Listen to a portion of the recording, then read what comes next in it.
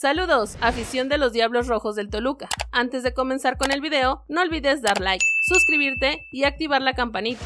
Sin más por el momento, iniciamos. Club América buscaría el fichaje de Isaías Violante desde el Toluca FC. El Club América podría firmar otro fichaje de bajo perfil para el torneo de apertura 2024 de la Liga MX, pues la directiva azul crema está sondeando la posible contratación del extremo mexicano de los Diablos Rojos del Toluca FC, Isaías Violante, quien aún no ha debutado en este torneo con los Escarlatas. El equipo de Coapa buscaría la contratación de un nuevo extremo por izquierda tras la salida de Julián Quiñones y Jonathan Cabecita Rodríguez en el último semestre bajas a las que se les podría sumar la de Brian Rodríguez en esa misma posición. La idea de la directiva era contratar a un extremo de jerarquía, pero ante la posibilidad de que Brian permanezca al menos un semestre más en Coapa, el América cambió su estrategia y ahora buscan a un futbolista mexicano que abone a la cuota de minutos de menores de 23 años, por lo que pensaron en el necaxista Heriberto Jurado. Ante las dificultades encontradas para fichar al jugador de los Rayos, el América ahora pone la mira en Isaías Violante, extremo de 20 años de los choriceros, el cual ya había sido sondeado por el AVE en el verano del 2023, pero sin entablar negociaciones con el Toluca. Violante es canterano de los Diablos y en su proceso ha sido seleccionado por México desde las categorías sub-16, sub-18, sub-20, sub-22 y sub-23. Por otro lado, que se agarre Cruz Azul, Renato Paiva,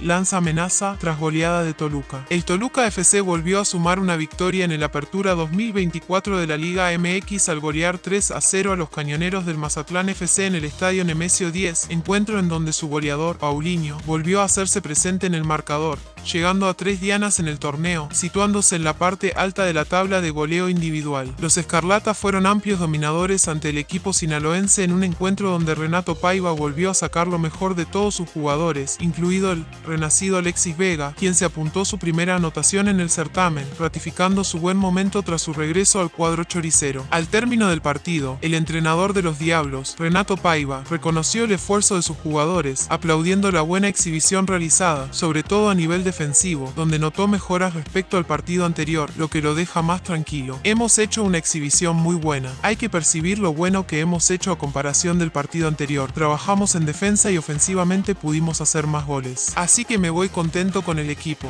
apuntó. Queremos que nuestro juego genere orgullo y emoción en la afición, pero sé que esto funciona de adentro para afuera. Vamos a hacer todo para ser fuertes en casa, manifestó Paiva respecto a su segunda victoria en casa. En cuanto a su próximo encuentro este fin de semana ante los cementeros del Cruz Azul, los líderes del torneo, Paiva adelantó que será un lindo partido, pues se enfrentarán dos los mejores clubes en este arranque de torneo, donde los Diablos buscarán perforarla, hasta ahora, Inmaculada Portería Celeste. Cualquier equipo puede ganar a cualquier equipo. Cruz Azul es el único que está con números perfectos, sin goles sufridos y tres victorias, y vamos a intentar que Toluca les haga goles y pueda ganar el partido. Los dos tenemos una idea de juego muy bonita y positiva, dijo el portugués. Por último, Alexis Vega habla sobre la salida de Jaime Lozano. Nos duele a todos. El delantero y principal figura de los Diablos Rojos del Toluca, Alexis Vega, lamentó la destitución del director técnico Jaime Lozano de la selección mexicana por parte de la Federación Mexicana de Fútbol, FMF, luego que el equipo terminara siendo eliminado en la fase de grupos de la Copa América 2024, que se realizó en los Estados Unidos tras sufrir una derrota ante Venezuela, un empate ante Ecuador y apenas una victoria por la mínima ante Jamaica. Sabemos que son decisiones que no tomamos nosotros sino la gente de arriba. A todos los jugadores nos duele que Jaime ya no esté con nosotros. Es un técnico que la verdad queríamos muchísimo. Había ganado la medalla con la selección y la Copa Oro, expresó Alexis Vega al considerar que representa un duro golpe para para todos los miembros de la plantilla. El atacante también habló sobre el próximo partido que protagonizarán contra la máquina Cruz Azul, equipo que se encuentra como líder de la tabla de clasificación, al afirmar que esto les brinda un impulso para ser los encargados de darles la primera derrota de la temporada. Yo creo que para los dos es un parámetro importante, ser un golpe de autoridad e irnos con una victoria y después viajamos,